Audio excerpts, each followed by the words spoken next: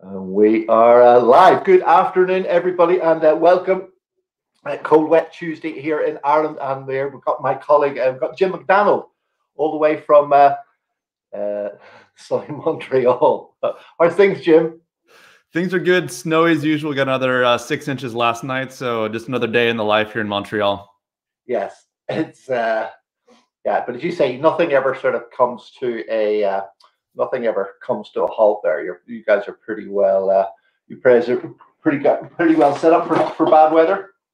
Yeah, I think there was a story recently that Montreal is the best uh, snow removal um, team kind of in the world. So that's one of our big claims to fame. Airports don't close. No, exactly.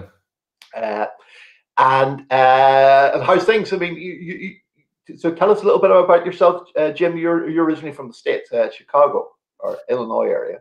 Yeah, so I grew up in the States. I was trained as a podiatrist, uh, started my um, education at Scholl College after my undergraduate degree, and then uh, did three years of surgical residency training uh, out in Portland, Oregon, and practiced for five years at a, a, big orthopedic surgical clinic in Eugene, Oregon, which is kind of the, uh, the home of athletics and track and field uh, in the States. Yeah, I mean, that's where they have the whole Nike uh, experiment.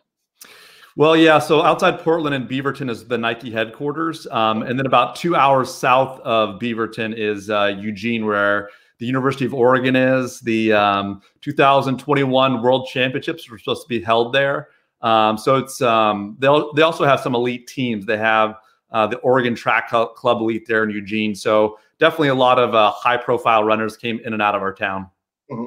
Uh, and you used to see quite a lot of runners sort of sports medicine wise side of things. Yeah, I mean, obviously, I was one of the junior kind of associates in the practice for a while, so I wasn't seeing the uh, the heavy hitters to start off with, but uh, definitely some of my uh, older colleagues. Uh, one of the guys in my group, a guy by the name of Stan James, was actually the orthopedic surgeon who did the arthroscopic knee surgery on Joan Benoit Samuelson, um, basically like four weeks before her marathon trials, and then she went on to be the first marathon Olympic champion ever for women. Was in my practice, and then he also treated Steve Prefontaine, and just you know a laundry list of other kind of high profile runners came through. And I was one of the younger guys, but they, he would sometimes drag me into the room and you know get my my thoughts on something, or I'd help you know construct an orthotic for someone that had a you know second metatarsal head was longer, you know second metatarsal was longer than the, the first and needed a little bit of offloading. You know some yes. different ways as far as um, biomechanics with some of those athletes. Uh-huh. Uh, and then, of course, I mean, you went on then after that. I mean, you were quite involved with the sort of Canadian athletics on the on the. Yeah, so in uh, 2008, I met a, uh, wonderful wonderful woman from the uh, province of Quebec, and uh, I was still in practice at the time. And then, basically, what happened over the course of those years, I started doing some different technology side projects, making some iPhone apps, uh, developing some websites around the kind of high performance running area. Mm-hmm. Um, while I liked doing some of the um, day-to-day clinical practice and treating patients, I found myself drawn more to kind of the performance side of the sport and trying to do some things to help kind of up the sports game from a technology standpoint. So I used some of my doctor money back then to fund some side projects, but along with creating the technology, you have to find some way of getting it in front of people. Um, and that's how I kind of got interested in marketing and kind of uh, basically my wife was offered a position uh, at a university in her hometown of Montreal um, and it seemed like a good way for me to transition gradually from clinical practice into something more along the lines of technology or communications. But it's just interesting what you said there. I mean, it's uh, you spent some of your money on these things, but then you had to market them to actually get people to find them. And yeah, I mean, I have that conversation regularly, uh, you know, yeah. with friends and colleagues, and they think if they're going to have this nice new fancy say website with all the bells and whistles, and then they've no idea then that they actually well, how are you going to actually get people to see it and use it? No, exactly. It's in the states. There's a movie called Field of Dreams, and I'm not sure if your your audience is familiar with it, but uh, in Field of Dreams, there's a famous line. It's if you build it, they will come. Oh, yeah. And uh, the the sad part about that is that if they don't know you exist, they can't go anywhere. Um, yeah. So you do have to have some awareness for whatever yeah. your, your project you're doing. I mean, one of my first tastes of that was about 10 years or so ago when my brother in Australia decided to head off and he got it's some web training engineering app or website that he's going to develop. And of course, he flew to Sydney and the developers brought him out to lunch and blew smoke up his ass and said, yeah, yeah, sure. You know, took about 30, 35,000 to develop the website. Yeah. Luckily, before he signed the contract, we had a quick word. It's like, great. But then how are you going to actually get drive traffic to that? How are people going to find out about you? We spent all this money on the great, lovely website that does everything for you. Where are you going to get? And people, you know, companies larger than our multi-million dollar companies burn through huge amounts of venture capital cash trying to get a, a, a brand, a product recognition. No, I totally agree. I agree. And what happens sometimes is that, especially you hire someone to do it for you, there's all these milestones and these things that they'll hit, but that doesn't necessarily guarantee success, right? And whether it's an app or a website, things are always changing. So there's always more develop work, development work that needs to be done. So if you don't have a partner or you partner with someone, you're basically going to be paying through the nose um, to make a little, you know, if you want to be on Android and iOS, you want it to be, you know, good on Chrome browser and Safari browser. It's not just, uh, you know, build this one thing and then the revenue comes in, right?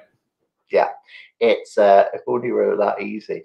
and they uh, and and so I mean, did you find then at, at that stage that sort of athletics and, and, and, the, and the Canadian athletics were sort of quite open open to this, or is this the you're obviously sort of riding the sort of wave of the technology through with this? Yeah. So what I found was that, like, you know, when I was, I'm from the States, I grew up in the States, I was a runner myself. Um, it's a very competitive sport in the US, as you might imagine. Um, sometimes they say that the uh, US Olympic trials is the second most competitive sport or a competition after the Olympics. And what you have, you know, I was a 153, 154 half miler, and I was maybe, you know, number 500 or 600 with never a chance to even think about going there, right? So it's a pretty big sport in the US. The NCAA system is huge. But when I moved to Canada, while we have some very high quality athletes here, um, and the sport is just kind of a little bit more under the radar. Um, a lot of athletes go down to the US to compete. Um, yep. Obviously, it's colder up here all year. We don't have California or Florida. And um, like here from Ireland and from the UK? I mean, there's scholarships obviously for Canadian athletes in. yeah, state. exactly, exactly. People will, you know, like one of our stars, Justin Knight, went to Syracuse. You know, Derek Drouin, our Olympic champion, high jumped at the University of Indiana. So there mm-hmm. are athletes that are a high level uh, that go down to the U.S. Um, what I found is that the, the kind of Canadian system and Athletics Canada is kind of the federation. It's um, you know, it's a, it's a good it's a good federation, but obviously the, the volume isn't there. So you know, yeah what you know what if i was doing media if i was doing stuff in the us and i wanted to get access there's all these kind of hurdles you have to jump through and i was able to you know get access um, but like when you come to canada you just say i went to the canadian championships in moncton new brunswick for the first time and i introduced myself to the coo the ceo they knew my name they knew i was going to go um, check out the 2013 moscow world championships i was going to pay my way um, mm-hmm. they knew i was going and i could cover some canadian athletes like well we'll pay half of your flight to Moscow. So it, it just you get to know people on a much more basic level because there's these less of these things to jump through because it's just a bit of a smaller sport here in Canada. Yeah, and I mean, you just you just pitched up. I mean, because that's always the way. I mean, certain uh, with with certain people, or we just got in contact over the years. And as you go out, I mean, a, a, lot of practitioners think these sort of things are going to just happen to them. Yeah. Unless, unless they make it happen. So yeah, unless you turn up with that sort of attitude, uh, it's going to be a value to people, right? Like, you know, I had a certain after living in Oregon and Eugene for a decade, you can, I kind of knew the high level aspects of the sport. I knew the coaches, the athletes, and it just gave me a bit of credibility when I came and asked them. Yes, you've got to be able to talk running specific issues to uh, to runners, whether they're doing their sort of fartlek runs or they're doing sort of intervals or, or, doing sort of things. So you need to be on the same page as them. Uh, across. So I mean, yeah, sometimes that can be sort of a little bit difficult to get up to uh, the speed. But if you get any advice for sort of people who want to sort of get involved, say in athletics or or, or you know, any other type of sort of sport specific. Yeah, so I would say like like you talked about, like whether it's a sports niche or any other kind of niche within podiatry, I think that's one of the things that people sometimes, you know, I'm already a foot and ankle specialist, right? So why do I need to go down into a deeper niche? Um, and what I say, it's, it's really about becoming domain expert with the type of patients you want to treat, right? Um, so whether it's basketball players or football players or you know athlete uh, athletes, um, you know with athletics, you really would just want to you know kind of become that go-to expert. So I mean, with the internet, all that information about the coaches, the training, all that stuff is available. it's a matter of you then learning about those things and maybe what specific injuries or need is there, and then positioning yourself as an expert uh, in those different niches. Yeah, and I mean, again, whether it's sort of you know everybody will have their sort of own interests, whether it's athletics or sort of cycling or or sort of basketball or, or you know rugby or something like that. But again, you know, it's it's always good to be able to work in something that you sort of have an interest in then as uh, uh, as well. And of course, there's quite a crossover between you know the biomechanics is the same, just sports specifically, it'll be slightly uh, it'll be slightly uh, it'll be slightly different. Uh, of course, interesting times this year. I mean I don't know what the latest was on on the Olympics this morning. Whether that's going to continue on or not. Yeah, it's a big question right now, right? Like, uh, what's going to happen with Tokyo 2021? So uh, we'll have to wait and see, I guess. Yeah, I mean, I know a couple of Irish athletes were, you know, again last March, April kicked in, and I mean, they were just sort of on their uptrend for their really sort of kicking into higher sort of gear. So that's all been sort of paused. And as you say, I mean, certainly Ireland and certain sports is at a quite a lower level, not a lower lower level, but as within uh, within Canada. So you're you'll be worried about sort of funding if it's going to be another four year cycle and, and, different things. They're not not as well resourced as some of the uh, as some of the uh, uh, the other countries. no, for sure. I, I, totally get that. I mean, I think uh, it's just a it's whether athletes should jump the line there's all these kind of moral and uh, moral and kind of uh, logistical dimensions i know that we've had a bit of a slower rollout with the covid vaccine here in canada than people really wanted um, you know mm-hmm. obviously the manufacturing both kind of being in the us and a lot in europe you know is whether we're going to get some doses or not so there's always that going on there but i mean I've, obviously athletes are used to adapting obviously they had to push off you know a year already but um, you know, a lot of them are pretty resilient people. Otherwise, they wouldn't be in sport in the first place. I know that when I was younger and I was getting into sport, I was a middle distance runner, right? And uh, some of my favorite middle distance runners are from Ireland. You know, like uh, Marcus O'Sullivan, Eamonn yeah. Coghlan. Like those are guys that when U.S. running was down a little bit, like I was, you know, tuned into those guys. Yeah, well, well, Tom Novella, who we spoke with before, I mean, he worked with, uh, uh he worked with uh, just mentioned him the, the, in, for the mile indoor record. Uh, Eamonn, Eamonn or Coghlan. Marcus? Uh, sorry, Eamonn Coghlan. Coghlan, yeah. Mile indoor uh, record, and Tom just through uh, I think it was through Adidas got uh, got, got working with him. Okay, and it's uh, and and yeah, so there you know it can be sort of like quite niche, and of course that's what a lot of further practices or uh, a lot of practices maybe tend to be a little bit sort of too generalized. I'm not talking about in the in the service that they provide, but uh, uh, especially in the sort of their in their marketing and the message that they give across to uh, to, uh, to to prospective patients. And uh, everybody's heard that they need to sort of niche. Uh, so I suppose like specializing in and more sort of sport specific stuff is one way to do that. Yeah, there's a fear there sometimes, right? If you they feel if they like niche too much that like you know then the ingrown toenails or the heel pain is going to go to somebody else, but that's generally not the case. Mm-hmm. Yeah, and it's uh, and, but it's a good way of building then that sort of like trust and sort of name, name recognition and things that we've uh, we, that we've talked about before, and and, and so with, with, with your um, with, with the practice sort of mastery uh, company that you have I mean, you really sort of focus on really into. Well, will we'll tell us a little bit later a little bit more about the, the sort of process that you like to go through with people that you work with. Yeah, so there's kind of two. So I kind of do two things. One, obviously, you mentioned is the uh, the podiatry practice mastery, and that's kind of a, a mastermind group or a monthly group that I work with a podiatrist named um, Don Pelto, and we kind of have this group together. And then there's my kind of my personal business, which is podiatry growth. And with podiatry growth, I work with private uh, practice podiatrists to kind of help them develop their online presence through kind of like a, a framework or kind of what I call like the five elements of a uh, clinical online presence. And mm-hmm. the first being kind of a you know an online foundation. The second being uh, kind of discovery. Uh, third being uh, more in the lines of reputation. Four being yeah. communication, and number five being kind of promotion. So we sort of touched on that a little bit, like in terms of the website is the uh, you got to be you got to be there. Plus, then you get to get people to, to recognize that that you're that you're that you're there. Uh, and so, what, what are the sort of typical mistakes that you see people make? Well, I think you number one is like you have to have imagery of you and your staff and of like kind of the ideal patient on the website, especially on the homepage. When people people want to see human faces, they don't want to see a footprint in the sands or like just a, disembodied foot kind of sitting there. Um, while that's better than nothing, it's not really going to like build trust with that person. If the person looking at your website sees them in the, the patient chair, you know, that's what you want to have them feel like is like, I want to be treated by this person because it looks like he's treating someone like me or a problem like I have. So that's the first kind of mistake is that people just make it very generic and it's not their fault, right? We didn't go to school for this. No, um, again, if you contact the designers and I've made this mistake in the past, they just come back with sort of generic, uh, you know, stock photos that are, that are, that are used there. Yeah, stock stock images are not really going to build any trust or a rep, kind of a good build a rapport with that patient. Yeah, and of course, then I mean, even more, even if it's just sort of photographs, certainly introductory videos uh, were a huge help uh, in, uh, in, in our practices. Yep. Again, so they get to know, like, and trust you.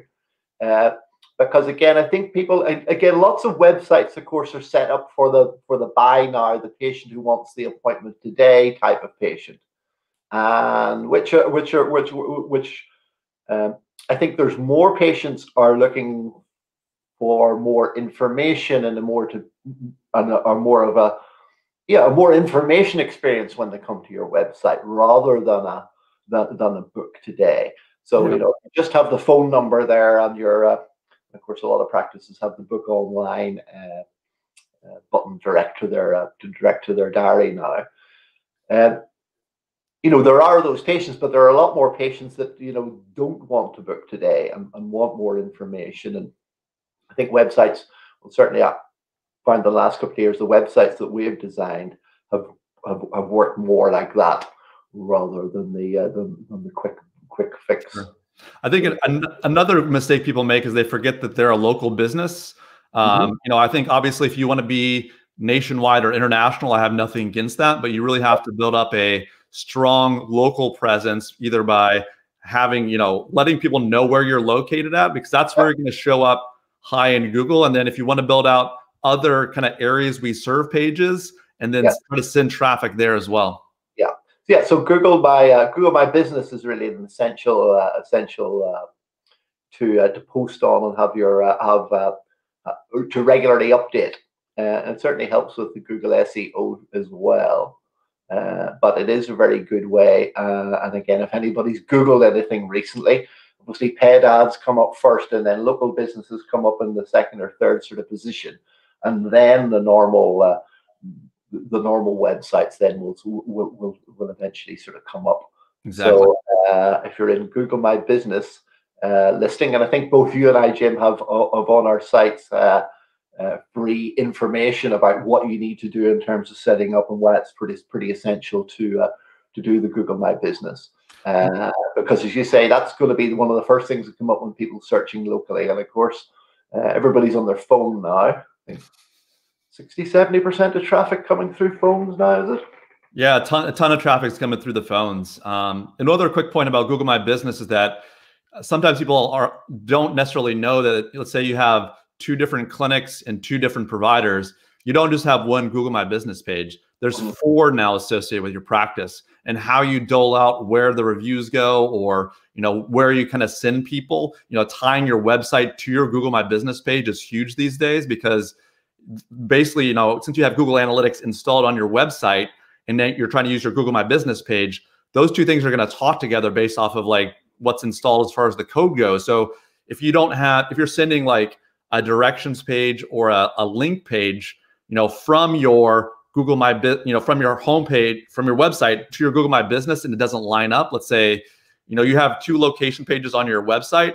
You should send the Google My Business page of that location to that page on your website and yeah. making sure that's tied and will really help you in the rankings. Yeah, and I mean that's exactly the same. Then, of course, then if you have a, uh, you know, if a page on a blog or a page on the website uh, talks about, say, heel pain or you know bunions, and and the person clicks a link, it has to go to then that bunion page or has to go to the whatever it's been referenced through. It's got to be cross linked through. Uh, other, otherwise, people uh, uh, people don't spend the time on your on your on your website. No, they'll just bounce off your website, and uh, like you said, though, like it has to be. You basically have to win the internet for that page, right? Like, so you want to have the best bunion surgery page, like in your local area. so that people will stay on there, read it. Because, like yeah. I said, Google knows how long they're staying on your page. And if mm-hmm. you're they're staying on for two seconds and you're they're staying on your competitor's website for two minutes, where do you think they're going to want to send the traffic? I mean, I, I just I mean, a very simple, easy thing to do is just to have a look at four or five of your competitors' websites uh, around the same time, and normally they're all exactly the same. Uh, again, we used to train people with that, and we, show people we do do reviews, and all the websites just make the similar same, same similar issues. I mean, they're all just quite generic with a phone number, uh, mm-hmm. all about the practice and the person, uh, not really, or sorry, about the, the practitioners and the services. Uh, and again, don't really engage with the uh, with the person themselves. So, um, people have heard about having an avatar or having the ideal patient and then building the sort of the website around that. And, and of course, you don't have to be specific with one patient. Uh, it does make things easier, but you know, if you are going for sort of more sort of sports niche or, or surgery niche, uh, you may want to sort of tailor that. And uh, let me see, we got there. We've got a question from David. Jim, with GMB, should the potatoes have a separate GMB page for the practice and function in parallel? That's a great question. Um, so basically, what I would recommend is if you're a one-person practice, I would kind of have that be combined. So let's say your uh, Milwaukee like foot center and your you know Dr. David Lorino, like that would just be one. But the time once you get two practitioners, like what you want to do is obviously now you have three. You go from one to three. But what I would say is that if you're driving for if you're driving reviews um, or you're trying to kind of like build up kind of your main Google My Business profile for your practice, you should really focus on getting the reviews for the practice first. Um, and then once you have maybe over 100 or 150, then it's time to maybe like start siphoning some of those down to the individual practitioner level. Um, but that's a good place to start is start with kind of one main one.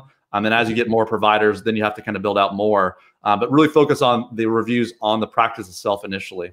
Yeah, and uh, yeah, we always found that one of the easiest way to ask for reviews was just to ask for one at the end of the appointment. Not many people ask, and there are sort of systems you can put in to automatically sort of send, uh, you know, an email after. We found the open rates for those weren't very good. Uh, it's a little bit like having people uh, have their paperwork prepared and bring it with them. Uh, tends to be a bit of a pain for them, so they don't do it, uh, and then you have to do it again anyway. So yeah, there can be different ways. What I find is probably the most beneficial is like uh, the, the software I use with with clients is called uh, GatherUp. Um, mm-hmm. So let's say you know they have a good the doctor has a good encounter with the patient he thinks it's a good person to maybe provide a review i don't just say like do email blasts and just send them out because you're right there'll be a low open rate with that but if they're kind of warmed up to the idea and the practice about like you know you know did you have a great experience? We'd love to have you share. You know would you mind if i email or text you this? And then you know an hour later they get an email or a text. They're more likely to provide it um, but i don't recommend trying to either email blast it out or put the pr- put pressure on the patient in the practice say hey here's a, a, you know here's a tablet. Especially in the days of covid-19 they kind of want to get in and get out right? Especially nowadays. Um, but they they but i see reviews and reputation stuff is kind of a digital form of word of mouth because if they have an excellent experience they want to tell their family and their friends about you. Um, you're, you're, providing them a platform to do that. Yeah, and of course there are other sort of simple in-house ways of even just sort of giving them a card uh, while, while they're leaving, and you know, would you mind, you know, if you have, if you know somebody who has a similar problem, you might, you know, think, think about somebody who might have a similar problem and, and ask. A lot of people just don't want to ask for these sort of things. Yeah, it, it definitely takes maybe a little bit of staff training and just to feel comfortable with it. But you are providing a high level of care to people. And if you really want to take great care of as many people as possible, you have to be visible to them, either online or in the real world, um, to be an option for them to provide those services. So, like, while we didn't, you know, I went to a very hospital based uh, residency program I didn't kind of learn these things, right? So, um, it can sometimes be a little bit of an adjustment. Like I presume in the in the you know the, again they like the training here in in Europe, UK, and Ireland in in the in the uh, in the states, as you say, most people would go into a hospital would be going into a hospital sort of uh, setup, so there wasn't really any need for uh, any business sort of training. Yeah, I mean, we had a practice management course in podiatry school uh, at Scholl in Chicago, where I went. But besides yeah. that, I mean, I I spent some time in the clinics of my providers, uh, of my uh, the people who trained me during residency. But it wasn't like I was necessarily like totally on the front lines to see what that entire patient experience was like, right? Like I didn't get to experience like how did they find my practice, and then how did after I provided them care, how did I follow up with them and help educate them and help them. Yeah obviously they would come back into the clinic. Yeah, you're doing your bit in the middle. Well, that's the most important thing, right? You have to have the the quality of care and the way you treat them in your clinic is is hugely important, right? None of this stuff works unless they have a great care experience. But you know, 80% of the con the touch points or the contact points with the patient either happen usually before or after um, they're actually in your clinic. Mm-hmm. Yeah, yeah, we found, yeah, especially the way we sort of structured the uh, the whole sort of front desk experience before that that made a, a huge difference at the uh, at the through that sort of pre-framed the patient about how things were going to sort of work right uh, right through on the uh, on, on the journey. Uh, so you say yeah, so you got to have the presence, then you got to have the trust, which is where the sort of the reviews come in, uh, and then the next part was the so there's the foundation, there's the uh, discovery, you know, like, so whether, like we, we talked a little bit about that as far as being visible in the maps, you know, as far as maps go, you're really going to kind of be best for the actual like zip code or the kind of town you're located in on maps. It's going to be very hard for you to rank high, you know, two towns over within the maps itself. Um, yeah. But when it comes to the organic search, like I talked about, if you build out these areas we serve pages, um, let's say like you're a podiatrist serving like uh, like like Willamette, Oregon, or you know Salem, Oregon, but you're not located there. If you have a the best page about you know foot and ankle surgery for that town, you could rank number one in the organic search, and that's usually an area that people trust the most is that organic area along with the maps. Mm-hmm. Um, but really, it's about a, a, discovery strategy should be about that entire first page of Google uh, of the results page. So while maps and the organic are important, the first thing people are going to see, um, and you may feel like you're the person that ignores it or you never click on ads, but they do work. Otherwise, Google wouldn't have them there. Um, is this search, you know, this kind of search, um, Google search ads? You know, we're not talking about interruption. We're not talking about something you didn't look for. This is mm-hmm. matching search intent with someone in your local area, whether it's podiatrist near me or Salem, Oregon podiatrist, they are looking to have that done. So while you want to definitely build a long-term relationship, like you talked about with ways as far as providing information, there is a certain segment if you're in a big uh, area where you can kind of uh, you know SEO and discovery and organic that takes a long time. Uh, but the positive thing about ads is that you can kind of like hit the ground running almost that same day. Yeah, I mean, ads, ads are very simple. I mean, and, I mean, you can go from. Uh, I mean, I, I started off with, and I know other colleagues who we've worked with since have, uh, have started off. With, It's very easy to do a very sort of simple Google ad. You could probably do it in about an hour or so yourself. I mean, it's it's. it's yeah, but you got to be careful though, right? Like if you're if you're trying to advertise on your budget, your budget, you don't want to burn through your budget in a couple of minutes. And, what like what Google's going to do everything that they can though to try to make you spend as much money as possible, right? So if you don't know that you can actually make it be a five mile d- diameter, or you you realize that if when you type in heel pain in your local area, that like Dr. Scholl's and all these multinational companies are advertising on these terms. So while yes, it is easy, it's also super easy to burn through your money for not doing it right. So yeah, but again, there is sort of some simple advice out there, but. Uh, yeah, to, to, get slightly more advanced. But you know, it is a very good way of just turning on and off uh, clients. Uh, I mean, it does make the uh, it does make the phone ring, and uh, it's uh, yeah, Google AdWords. I mean, I, I, built my pretty much fifty or sixty percent of my practice and the practices in Dublin was built off uh, referrals from from from Google uh, from Google AdWords, and so we're pretty familiar with it. And it was it was it was fantastic. You know, thinking back, I should have probably used it more. should have spent more when it was cheaper. Sure. Uh, because yeah, as you say, certain key- keywords and things are quite uh, quite expensive to use. And uh, I think I've talked about this a number of times over my uh, over the last year or so. I mean, people just think that patients just appear, and you know, especially if you're working for somebody else, uh, you just think the patients appear in the practice in a puff of smoke. You don't see everything that's gone on previously and the cost of actually getting the patient to sit in front of you. Um, so people get scared of stuff like patient acquisition cost. Mm-hmm. How much does it cost for them to sit in front of you?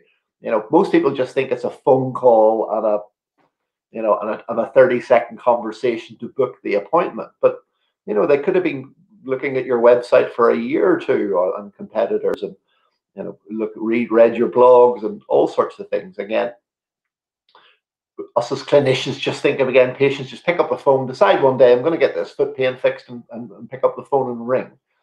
Uh, that's not normally the uh, that's not normally the process. If you actually bother to listen to your patients who are sitting there with two, three years of heel pain and have been to different practitioners and tried different things, their whole journey to get to actually sit in front of you in the clinic has been quite a quite a quite involved uh, over time. No, for sure. Yeah, it just doesn't just doesn't happen and uh, and then so we and you work a lot quite a lot with sort of then patient sort of retention while they're in the practices then and follow up after because obviously it's more about uh, you know the long-term value of the patient is, is, is important for the practice well, like I said, there's you know there's things that have to be kind of figured out. I think before you Im- implement an online marketing plan, right? You have to know number one, like who you are and what kind of patients you want to see you know what yeah. makes financial sense for your business.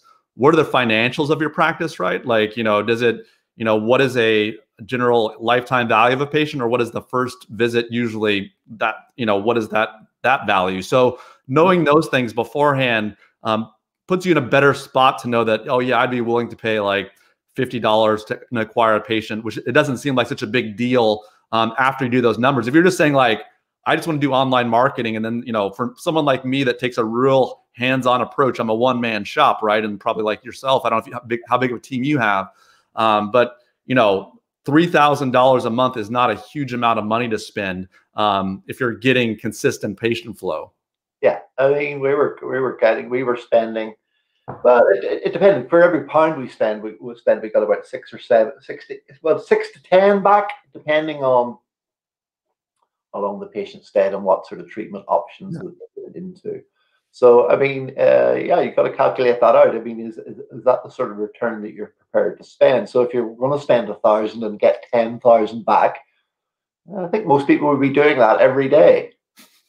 would they not? No, for sure. But you just have to know those numbers, though, right? Yeah, you got you got to know your numbers. Otherwise, uh, yeah. And then I mean, some practices, again, it's not new patients that are the, that are the thing. It's the retention of the, the patients that they already have, and that's what we do with practices when we first start. Is a lot of it is to to plug the holes in the bucket that's already in the practice. Then before we start to uh, before we start, because everybody goes, well, yeah, well, I want, I want new patients. Do you want new patients? But what's wrong with the patients that you've got? Because it's far easier to talk to and do more business with the patients that you already have than have to get somebody completely new who doesn't know, like, and trust you and hasn't used your service already. No, exactly. And that's where the kind of communication, whether it's educating patients through email newsletters or um, just kind of staying in contact with those people, because those are the people that are going to be your word of mouth people, either through a digital platform or just talking to people in the local network that, that like yeah. you, like you said, know, like, and trust you already. Yeah, especially now, you know, especially, especially now when, again, there isn't going to be as much, you know, ladies in at the bowling club at the weekend or the right. you know the guys at the game uh, having a chat about who, who they've just seen to be for for for, for their uh, for for their for their foot and ankle problem. So uh, there isn't going to be so definitely going to have to have more of a, uh, an, an, I think a more of an online presence. Yeah. And, and of course, then again, people think this is all you all you got to do is, is put up the website and and have a Facebook page and and post some things on Facebook and you know away you go.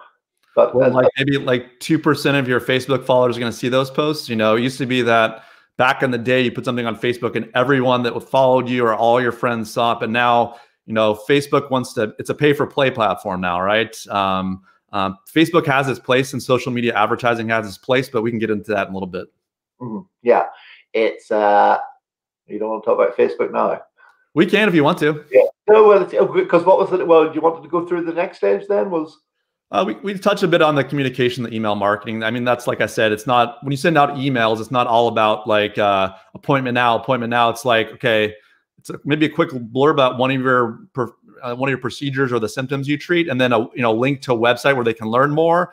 Yeah. You know, obviously during COVID nineteen times, you want to talk about you're open, you're taking all precautions necessary, and then yeah. maybe a testimonial or social proof somewhere in that email. It doesn't have to be some book where they're in front of the computer for 10 minutes. It should be a nice something that's scannable that makes yeah. you look professional and then they can interact if they choose to. Yeah, we changed ours up. We did we did we we, we sent an email at least once a week. I mean, and again, a lot of people worry about or fi- trying to figure out when we talk about this is how where they're going to what are they going to talk about to patients or what are they going to post and right content is obviously important. Uh, but but again, it was just like you know what what we're doing today, what what we did this week, the, the walk that we were we plan we did last you know last Sunday we went for a walk and saw this lovely waterfall and the trees were really nice and we could do this because we didn't have foot pain and and talk to them about you know such and such happened in the practice this week and oh this is a new research paper that we're reading. Some people are really into that. No, for but sure. Again, talk, talk to them. Talk to them. You know, again, like your favorite patient or your Auntie Mary who's your you know your patient avatar. It doesn't have to be all. It isn't all about sort of like sales or or, or, or keep pushing it all the time. It's just a friendly chat, and then when you do have an offer. Uh, or you do have something that you want to promote or a new service in your practice, then it makes it a awful lot easier because you're just not taking all the time. No, exactly. You want to give, give, give, right? So yeah, yeah. So sure. what does Gary Vee talk about? Jab, jab, jab, and then punch. I mean, it's it's it, it's a, it's a, it's a long it's a longer it's a longer process. Yeah.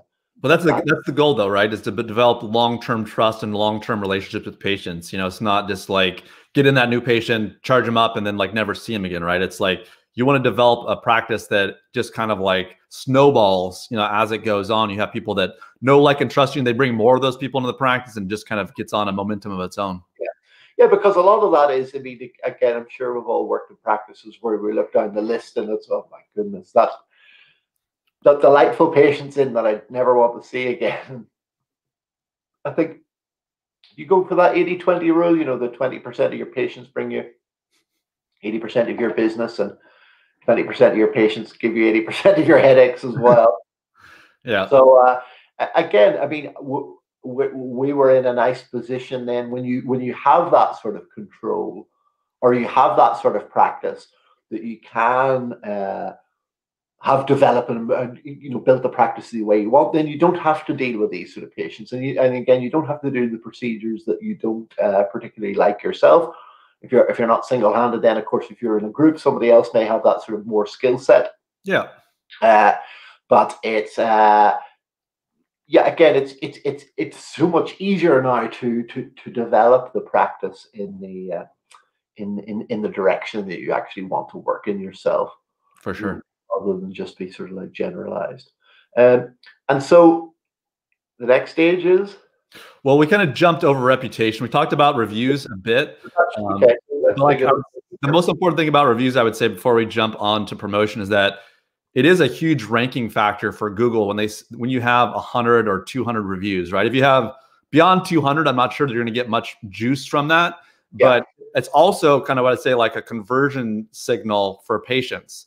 So if they're looking down the list of, on maps or someplace and uh, a competitor practice has seven reviews and you have 170, like there's a switch that goes off in patients' minds saying that like, well, even if seven has a 5.0, I'm going to go with like the 170 and the 4.8 because like number one, 4.8 feels more real than 5.0, but also just like it's a numbers game in a way uh, with reviews. You do that. Mean, again, anybody who sits there and thinks they don't do that when they go to download an app and they automatically look how many downloads there's been in the score on it, or if you go and look at a review of a product that you're going to buy on on Amazon or, or somewhere like that, automatically that just sort of happens in your uh, yeah. In your, in, in, in your mind and you're more likely to go to uh, to go to there as well. And but again, people are, will go to two or three different sites maybe.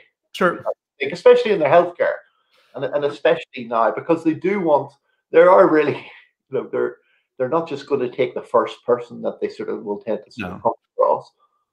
But it puts yeah. you in the running though, right? Like it makes you an option as opposed to like that clinic that's 5.0 that has six where it's not even an option. So when you yeah. kind of facilitate facilitate those Google reviews, you give your, your, yourself a chance to be up there. Um, yeah. And then once maybe you tap out, you're like at 170 or 200.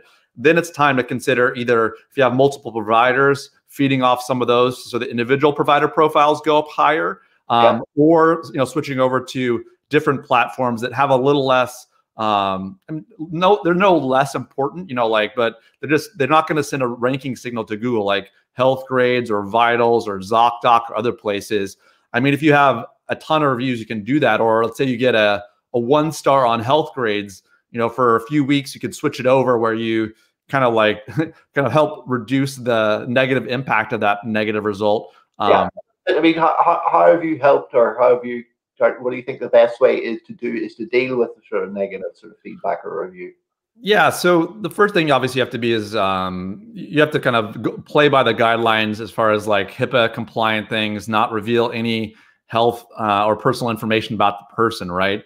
But they definitely needs to be confronted in a helpful and positive way. I think the first step would be if if they put their name down there, right, is like determine whether you can kind of take care of it behind the scenes with that person to really understand what happened uh, and can you resolve it kind of not in a public forum to start off with.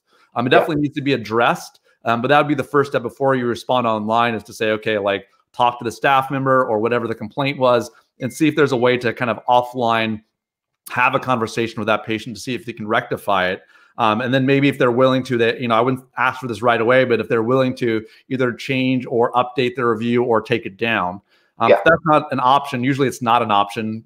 Usually when people go on, they're like, their heels are dug in most of the time, right? So I mean, when somebody left a, a negative comment on a post on a Facebook post 18 months after they'd visited the practice. So that's how long it had been niggling away at them for. So I don't know again whether it just popped up in their feed. Yeah. They were like, and then they commented on it, or whether they'd been sort of like waiting around. But yeah, 18 months later after you know, and how are you supposed to? Well, of course, we we spoke and spoke to them, and well, you do that first, and then if that's not if that's, if that's not, it, yeah, but, that's, that's, that's the old thing, isn't it? That you know, one person, you know, somebody with a good uh, good a good experience to tell one person, and somebody with a bad experience will what tell seven? Is it nine others? No, for sure. Um, but like like I said, if that's not successful, kind of in the back the kind of back uh, channels aspect of things, then you have to kind of say, okay, let's say it was a billing issue, right? You just kind of talk about like these are, you know, we care deeply about our patients. These are, you know, our this is the way we bill. Um, you don't really confront that person and say like you're bad or you didn't listen to us. Like, you know, we have a disagreement. This is what we do, and then you know that's you just kind of put it out there so other people can see your side of things. You're not trying to make the other person look bad or say that they're necessarily yeah. like 100% in the wrong, but you just say just lay out kind of how you approach treating your patients in a in a great way. Yeah, and uh, yeah, I've got some friends who have restaurants, and of course, when they were open, uh, I mean, they literally would have people, you know, smiling and saying, "Yeah, the food was great," and leaving a review as they're leaving the restaurant under the table. Yeah. I think Connor, my friend, just around the corner, he was like, "Imagine you had everybody come in and left you a review as they were just literally leaving." it will relieve reviews for restaurants pretty quickly and, and for other services, but medical services don't, don't know don't seem to be as quick off the mark. That's a good thing. Well, like we said, right? Like I was trained in a hospital. You know, it's kind of like it feels not uncomfortable, but it's not something I was trained at as far as how to ask a patient for a review. So something you have to practice. You have to have a system for. Um, because they, like I said, if you're providing great care, they're going to want to spread it to, the, to, to people that they, you know, in their network and that they care about, so they get the same kind of care. But I'd also say the worst thing that can be done, and you see this a lot online, is that you need to respond to all reviews, both positive and negative. It's not just the negatives that need a response. You need to thank patients for the time they put into it. Um, because like if there are uh, keywords being left in reviews, let's say someone says like, I had the most amazing surgery with you know Dr. Blake. Like that surgery and Dr. Blake are now like kind of two keywords there, uh, and that can help you rank for things like surgery and such in the future. Yeah, and then other ways of improving and building reputation. Um, obviously, you want to make sure that um, you're paying attention to these kind of what I call like satellite websites, right? Whether it be Yelp, Healthgrades, you just have to have some general sense of like what are people saying about you on places that are not Google or your own website. If you're completely oblivious and you have a 0.5 star rating on some website and you're not kind of like taking an active approach um, to kind of com combating that or to kind of like, you know, obviously you're providing great care. Um, you really need to be aware of what's out there. So at the very least, making sure that all the clinic information you have online, uh, the name, the address, the phone number is kind of, you know, yeah. you don't have like there's different services that'll do it as a one-off, which I recommend. Uh, but you don't need to have something that's going to charge you like two or three hundred dollars every month to do that stuff. No, no, no. It should be just a one-off. Again, yeah, there was there was a few different sites in Ireland. Again, it's amazing how people will link sort of through or how will they eventually get to find you. But uh, there's a really good one in Ireland, the UK called Rate My Area, which goes down through even to the like the you can specify the bus that passes outside the door, and nobody really knows about it. But it used to give sort of like pretty regular referrals. Uh, yeah. And there are other. Uh, I don't know whether it's large enough in Canada. I know one of the offices is based in Dublin, but there's a site called What Clinic, which was quite a good referral. Okay. Uh, an international sort of referral. I have international patients from that flying into Dublin.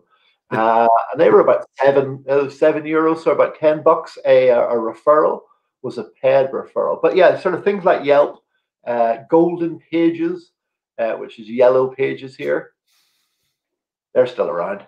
and they uh, uh, and, and and a couple other referral sites are, are you know as you say just have the have the information on there and it just does uh, it gets you around everywhere and um, yeah those yeah, what clinic was quite a good referral, but we'll get on to paid stuff later. And I suppose then also then, I mean, even offline building up, uh, going along to those uh, sports events or any local sort of charity stuff or, you know, talks and evenings. And uh, I know that's difficult now, but again, I mean, I've just been approached about and I've just moved it on to a colleague, one of the local diabetic areas units wanted sort of a little bit of advice, and you know sure. they're going to that with Zoom with patients on a, on a Zoom stuff.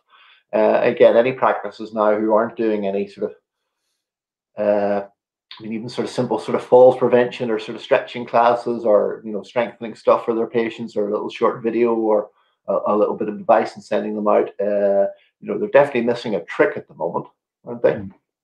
I think you bring up a good point. Is that um, you know when you get obviously there's certain links that um, you're never going to get right. So in the U.S. right now, there's some companies that have websites that kind of for their medical device, right? So unless you have like this this wart device or you have this bunion procedure, you're not going to show up on every single directory because some of them actually are private directories um, where uh, there's a company in the US called Trace and some other ones where you're not going to show up on their directory unless you're uh, doing a procedure with their hardware.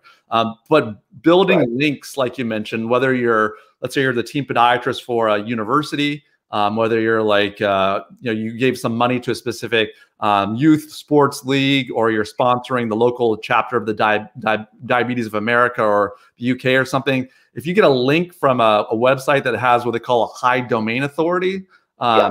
that will help build, bolster your own website to rank even higher. So you know, getting these genuine links from uh, you know, from other uh, local businesses is definitely something to aspire to. Whether you have time for it in your practice, or that's something that is going to be taken care of by the service so provider you work with. doing now in the evenings, apart from watching Netflix away.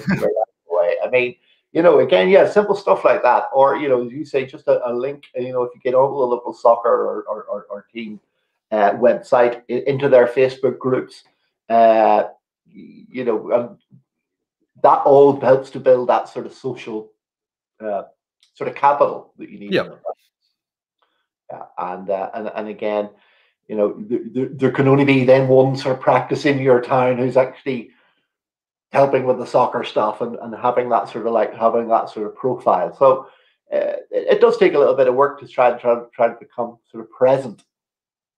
Uh, and, and again, yeah, people say they don't have time for this. I don't know what they've got time for. Uh, you know, got time for another diabetic talk in an evening.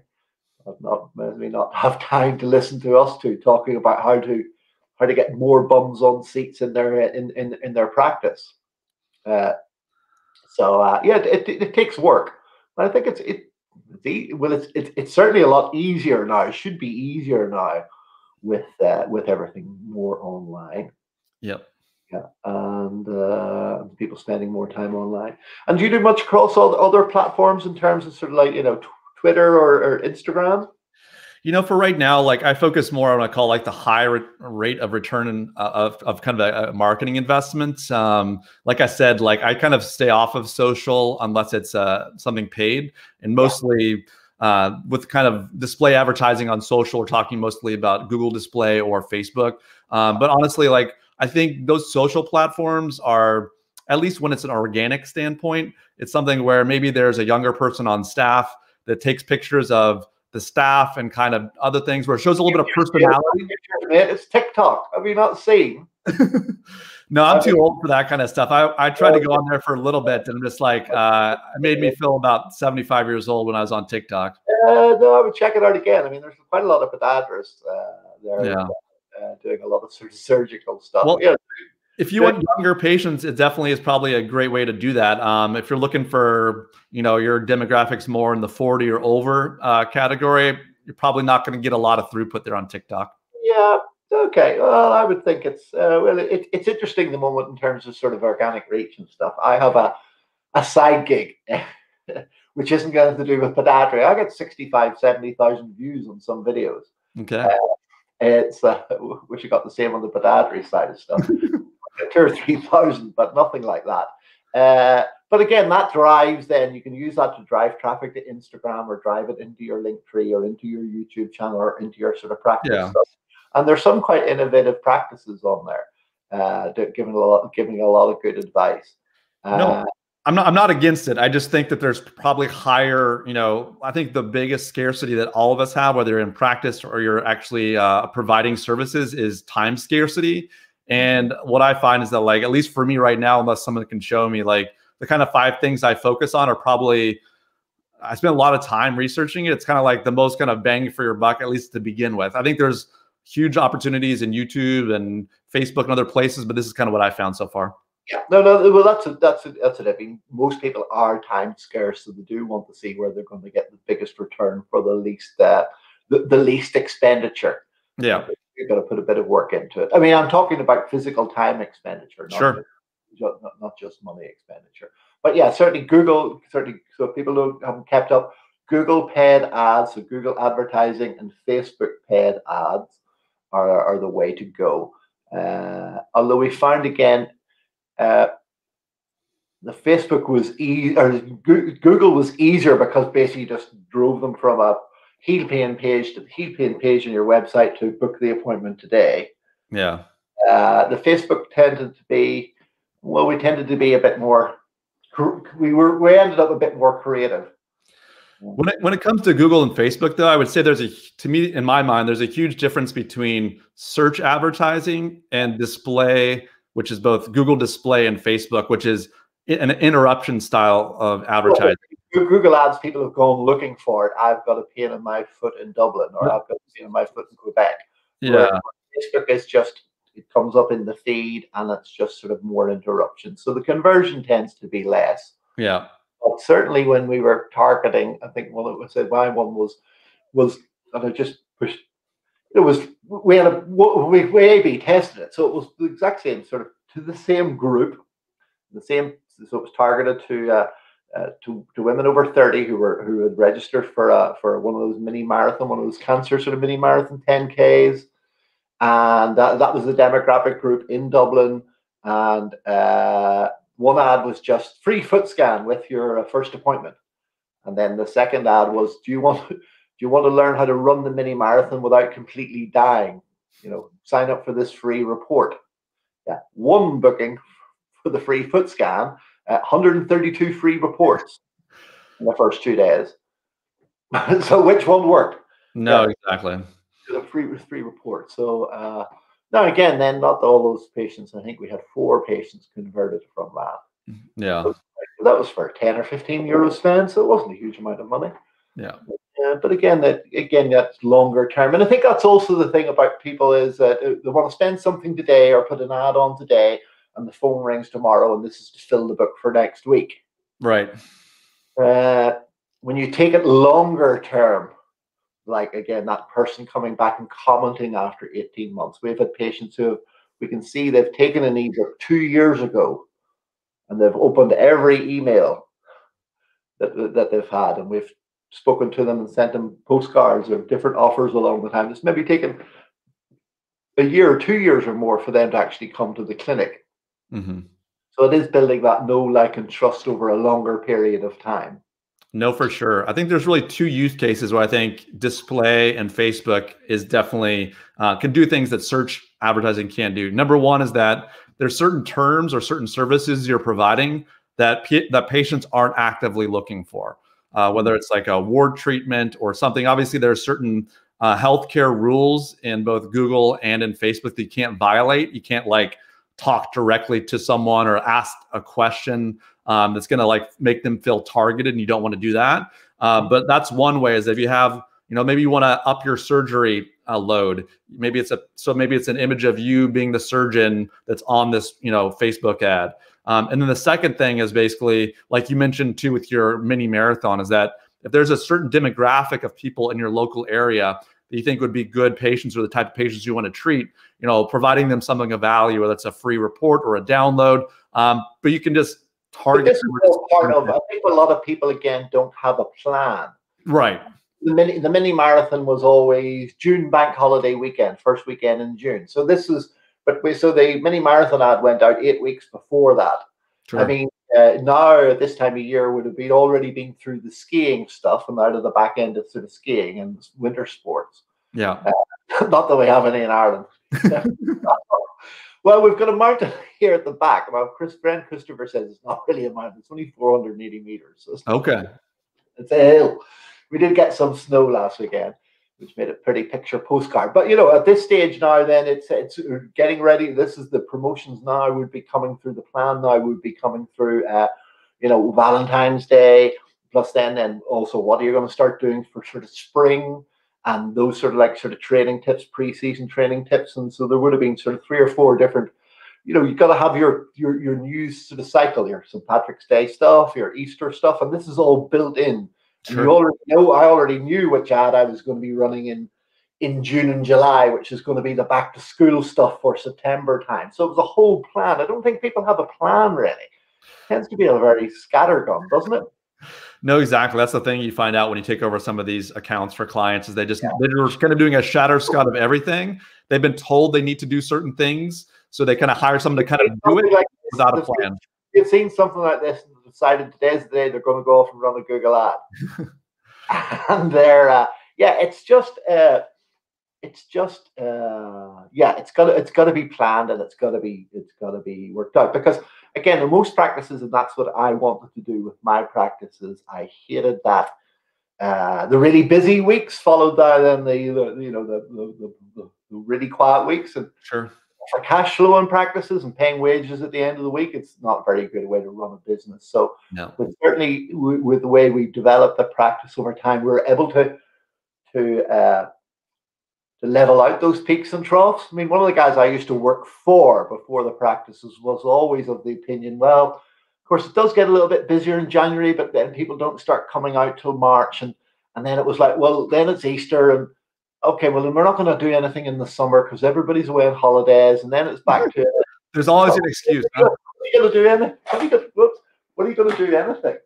It's uh, yeah, it's not. Uh, yeah, it's uh, it, it, you know, it's it, doing something consistently and you know is is uh, and, and, ha- and having just a sort of small plan. I mean, I think people spend more time. Well, they used to spend more time on organizing their sort of family holiday than they would be organizing the back end of their. Uh, well, now there's no holidays, right? So there's plenty of time to. Uh, plenty of time to, uh, to, to spend on developing the practices there. Exactly. Yes, for a while. We need some sun soon. Tell me about it. But no, you definitely have to have a plan. So even if it's just a one-off sort of plan and test things and see how it works, up to like a very sort of complicated, make it as complicated or as easy as you like. But you have to have a plan or what you want to get from it. No, exactly. That's where it should all start with. Because again, I've done that advertising before the local newspaper or the local the local running magazine or the running magazine in Dublin comes up. I remember there was a new rugby magazine. I didn't have a plan. You know, so the guy talked me into spending, you know, a thousand or fifteen hundred on advertising over a couple of months. Didn't get any patients out of it. And then you go, it's all waste of time. Yeah, exactly. Structured and wasn't planned. And and then, you know, had that patient who came in six months later rather than the week after the magazine came out. Did uh did you take into account that he was part of your advertising for that? It's, yeah, again for the for the for the longer burn patients. No, for sure. Uh, and then obviously that building up that sort of recognition in the local area as well is, is, is worthwhile doing. I mean, do you, do you still, because I got away from it, I don't tend to recommend, I don't really talk to family practitioners, you call them in the? Yeah, that's what they call them in the States. Um, you know, I think it's it's one of those things where general practitioners we call here, they tend to be the gatekeeper. Family doctors, G- GPs, yeah. So my thing is that yeah, I, well, they, they, didn't. Well, they had did some refer, but they didn't refer the amount of effort that we used to put in. Sure. To the referrals, we didn't bother talking to them. I mean, well, I think when people are first starting practice, right, they have more time than money sometimes. Yeah. Um, so that makes sense to at the very beginning, if you're going to be in a local area for a long time, it's a long-term plan. That's a time to go out and, and meet people, shake some hands, and provide some value to the other healthcare providers to let them know who you are, so you have some awareness you know, as a practice gets busier and there's probably a inflection point there where they're better off being in the clinic and seeing the patients, that's when it's time for someone like you or me to come along. I think that digital should always play a role, um, but to kind of ramp up or scale up things makes sense once they have kind of more money than time uh, at their disposal. Yeah. Smart people spend money to save time, Jim, apparently. Yeah, delegation is a good thing. Yeah, I mean, I mean, and again, there's not something something that you know that, that, somebody else in the practice may be better at than you are your, your, yourself. I mean, I think again, practitioners worry that they're they're they don't have that expertise, and hence where somebody like you and I come in. Once you've got it as far as you can, with with advice off you know YouTube.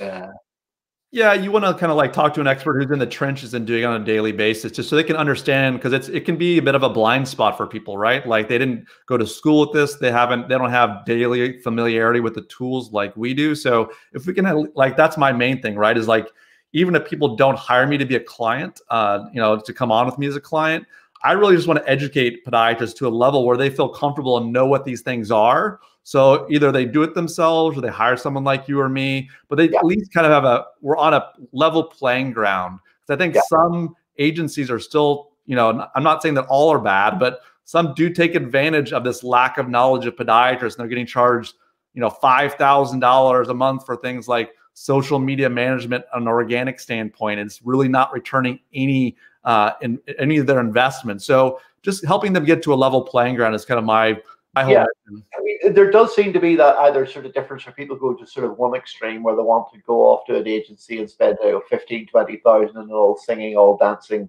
website and package and something at the back end of it. Uh, and then, or else then want to build a site on a simple website builder that costs 20 or 30 quid. Um, right. I don't think they sort of understand what they're getting from what they do, sort of things, and how things sort of function. And again, different people are obviously at different levels. Uh, but you would have thought they'd be listening to stuff over time. I mean, you know, I would I would say like a one page simple one page sort of website with your picture and your phone number on it isn't going to do it.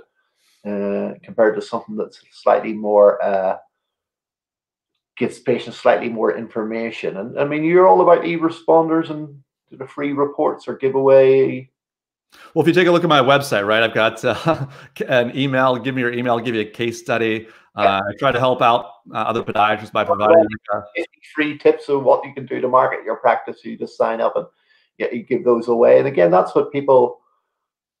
That's the way the information sort of trade works, and it works like that with sort of patients as uh, should should work like that with patients as well. Yeah. And again, you're not annoying the patients with the, sort of the follow up. You're informing them, and you're building the trust, and you're you're building that relationship with them. No, for sure.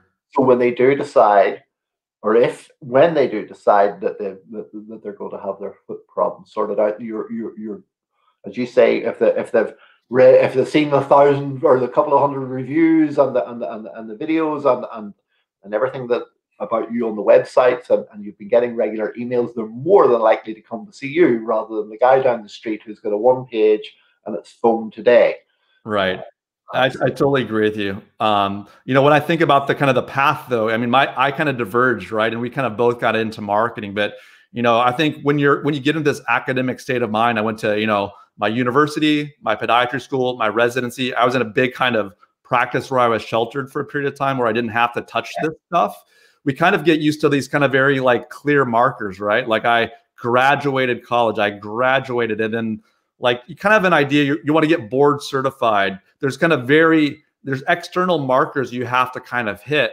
But when it comes to practice management or building a practice, um, yeah, there might be some financial things you can kind of kind of uh, kind of aim for and try to hit.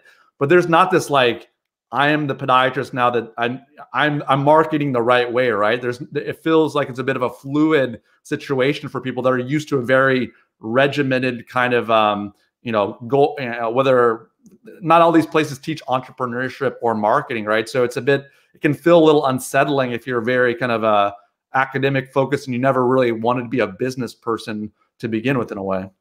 Yeah you, you missed that meeting. You are a business person. As soon as you put your name on the door, yeah, that you're running a business. And again, you know, they, they are, you know, if you, you know, you've got a receptionist and a or admin, some admin team and some other sort of staff and and and and uh, um, you know, again, if you're if you're if you've got to make wage at the end of the week, you're you're running a business.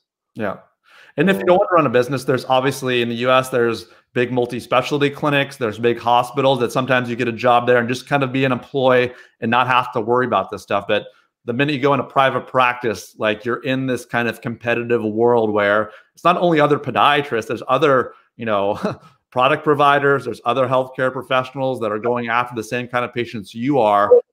Mean, I've talked about this before on talks. I mean, it's just that bunion problem, that heel problem. There's the option of the family physician, the, sur- the orthopedic surgeon, right. the physical therapist. Uh, the lady down the butcher said she got this cream and rubbed it in. It was really good. Amazon said they're going to sell you this brace or insole. There's so many options, right?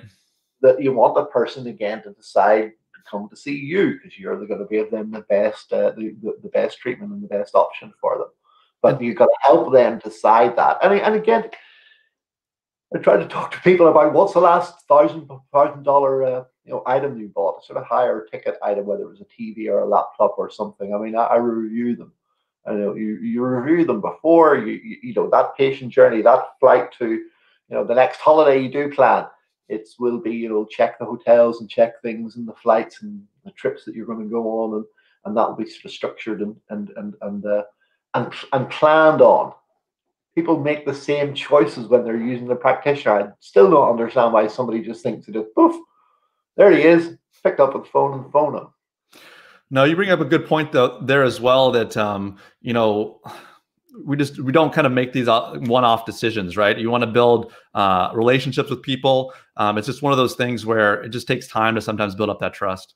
Yeah, it uh, just it just just it, it, you just got to put a bit more time into it.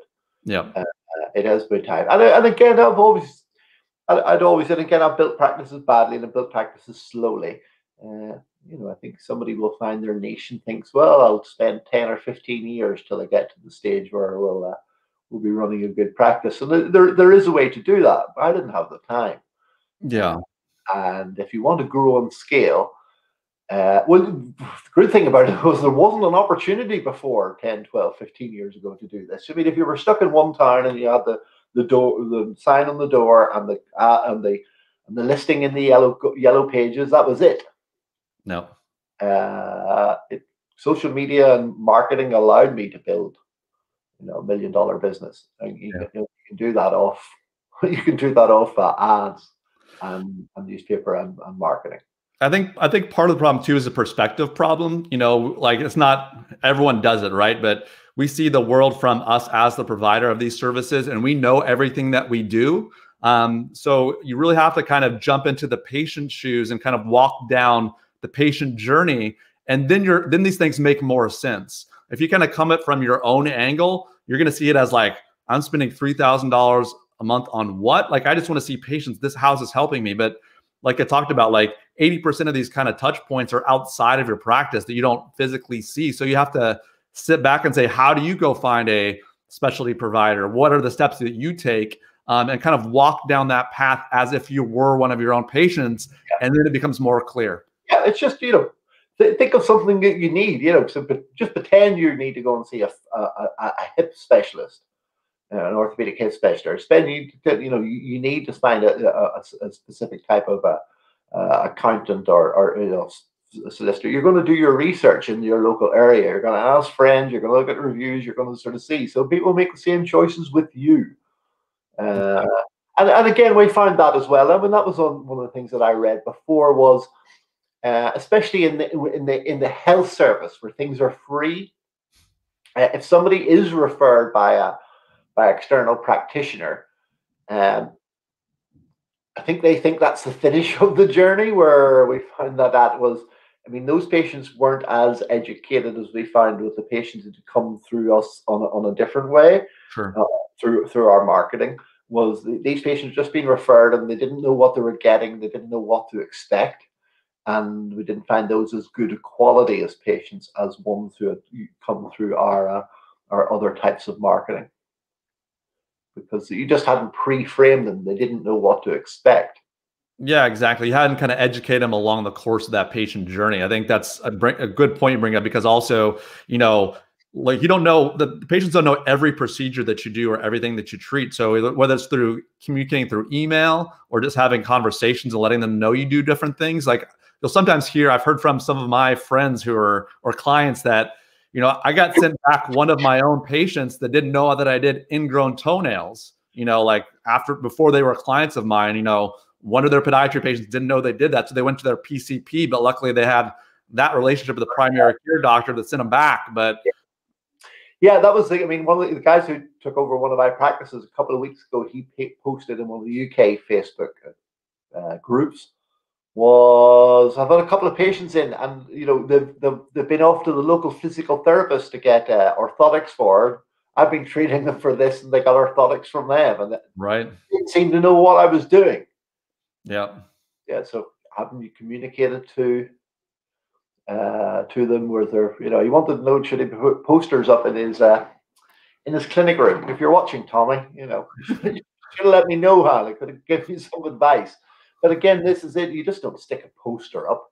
It's again, right. it's all part of the marketing and how you talk to them. And you know, the, the patient get a welcome email or letter that maybe say, "Oh, you've come to see us for a heel pain problem, but you know we provide X, Y, and Z." Or right. this therapist is in the practice as well who looks after this and this, and we provide this and that. And again, it's sometimes it can be a little bit over overload. We used to just have a one of the letter he- letter heads just had along the side the services. Biomechanical, and again, nobody knows what a biomechanical assessment is, so it didn't matter. Again, no, good point. to patients, and that's why websites and emails and NF blogs and things need to speak to patients like they're a six-year-old. Yeah, yeah. keep keep it simple for them. They don't know what a gait analysis is. They do not know what a biomechanical assessment is. Don't know whether you saw one of my videos a couple of weeks ago. Alan from the coffee shop thought a biomechanical assessment is something you do in the car. you know, I mean, rotate your tires and get a biomechanical assessment. Yeah, people don't know what a F scan is or a, a C arm right. X-ray unit or a they don't, they don't care. They just exactly. want the outcome. You know, and I think a lot of practices thinking that if they put up where you got this qualification and we do this sterilization and we do everything else. I never asked my dentist that. I didn't even look at his website to go. I would take those sort of things as a given from a medically qualified person that we're going to providing a, you know, I presume you've got a degree. I presume you're quality, you're cleaning and sterilizing. I presume you're doing all these COVID things. Right. Uh, and I don't care about your qualification. I think I just want to want what you can do for me. No, exactly. Yeah, I think that makes a big difference. But we jumped around enough. So there's building the trust. Well, we've jumped around. We've done all the five elements. We've kind of talked to some general topics. I think it's we've okay. done a, a, lot here. So, I mean, how do you think that? I mean, what? So, if you could would you start? Yeah, I just get people to start off with a plan. What do you want? And then it, it, it, it tends to build from there. Right. I think what people think they want and what, what they need is slightly different. Um, I think people have a general idea of what the tools are there. They don't necessarily know how to use them in a strategic way that benefits their practice, right? Like everyone's familiar with Google search, everyone's familiar with Facebook, everyone's familiar with websites. So they have a certain level of knowledge, but they don't know how to use those things in a strategic way to benefit practice. Just, it's just I want more new patients. It's like great, we can get you no more new patients. So what? Why do you need them? What are you going to do with them when you get them? Right. And so it's usually a financial thing, right? At the end of the day. Yeah they need more uh, they need more uh, they need more money into their uh, into their practice because uh, yeah you need to have more turnover uh, keep the whole show on the road no uh, yeah certainly challenging times now no, for sure. I mean, like uh, whether it be uh, having to wait out in your car, uh, like at some clinics now, not sitting in the waiting room. Um, yeah. You know, obviously, people are putting off care. There's some questions I have from clients. You know, is there going to be like a pent up demand once we're really open. Um, and it's I we've never been through this before, right? So yeah, practices that we talked to and stuff. Some of the better practices had the busiest July, August, September's than they ever had. Yeah, and uh, some practices didn't. Some practices closed, and they, uh, yeah. Well, that's always the thing. Everybody always wants new uh, new patients. Yeah, new patients, but like you talked about previously, we want to make sure that we maintain and kind of build the, the existing relationships we have with our established patients because though like you said you've already done a lot of the hard work with them to get them into your clinic and how do mm-hmm. continue to provide value for them and value for their network of friends and family and uh, contacts. Yeah that's one colleague that we're working with the uk i mean she had such a good business because uh, she was working in a private hospital and, and private orthopedic referrals.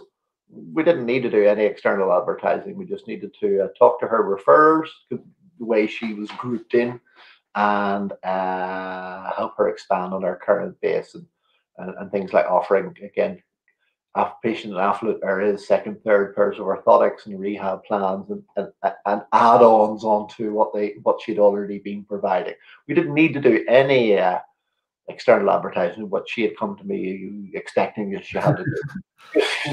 She's doing so well already. Well, that, well, that's why we talk to people, right? That's why we talk to our clients and see what their needs are, and then seeing kind of what are the tools available. That's why I, I didn't I didn't talk about the five tools that I use to like build an online presence, right?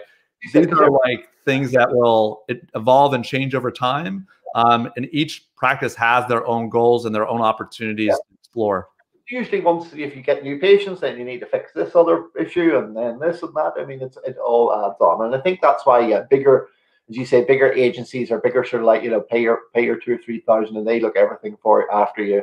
That's tend to be very very cookie cutter, and it's just sort of like plug and play for for everybody and for every every industry, and it's they just change the title on the on the on the on, on the blog in a way where they go. It's not sort of uh, it's not practice. Well, they make their money on volume and not necessarily individual practitioner success, which I think is like uh, a different model that you and I focus more on. Is like how can we help out these individual practitioners grow their business? And I'm not going to work with 50 people at the same time, right? I'm not going to make a copy paste website, put one in this town and one in this town to to yeah, volume.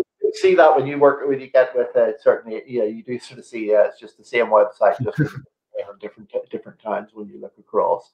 And uh, and of course patients aren't usually looking looking at that it's just us uh, marketing nerds. Exactly.